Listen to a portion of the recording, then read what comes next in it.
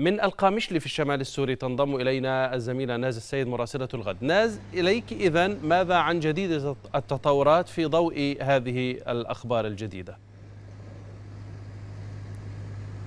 نعم إيه، صباح الخير. طبعا الساعة الثالثة فجرا لهذا اليوم إيه، خرجت أول دفعة من المدرعات الأمريكية والمقاتلين عبر معبر سيمالكا الحدودي باتجاه إقليم كردستان العراق. طبعا أيضا كان هناك عدة أرتال أخرى لحقت الرتل الأول بعد يعني الساعة الرابعة كان هناك رتل أيضا الساعة الخامسة والساعة السادسة صباحا كان هناك رتل رابع خرج باتجاه معبر سيمالكا الحدودي باتجاه الإقليم كردستان العراقي. يعني طبعا هذه تعتبر المرة الأولى التي تغادر فيها القوات الأمريكية آه، أراضي الشمال السوري برا باتجاه إقليم كردستان العراق. طبعا آه، لا يزال هناك المئات من الجنود الأمريكيين والمدرعات الأمريكية ولا سيما في آه، القاعدة في مدينة الشدادي أيضا في منطقة في مدينة دير الزور. هناك عدة قواعد صغيرة للقوات الأمريكية التي تتواجد أيضا في ريف دير الزور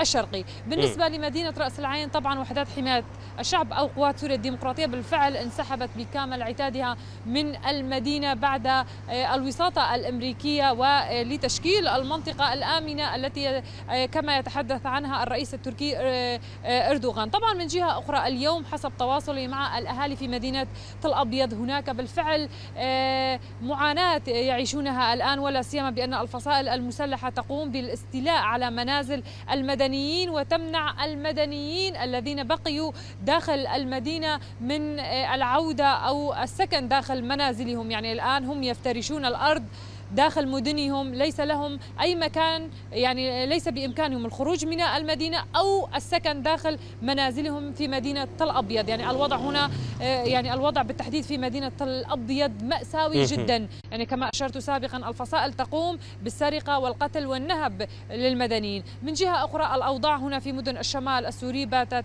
هادئة آه، آه، نسبيا من مدينة ديريك من الحدود العراقية السورية باتجاه رأس العين. هذه المدن تشهد هدوءا وسط آه، ترقب وخوف اليوم الغد ولا سيما اللقاء الروسي التركي. طبعا أيضا هناك مصادر الآن تحدثت بأن هناك مصادر من الحكومة الروسية أكدت للإدارة الذاتية الديمقراطية بأنها ستقوم بالإشراف على مباحثات مباشرة مع الحكومة في دمشق. يعني بالنسبة لي أيضا الانتشار نعم القوات السورية يعني يمكن أن نرى خلال يمكن أن نشاهد خلال الساعات القليلة القادمة أيضا انتشار للجيش السوري في مدينة القامشلي ودربيسية وديريك. يعني المدن التي لم شكرا تنتشر لك فيها.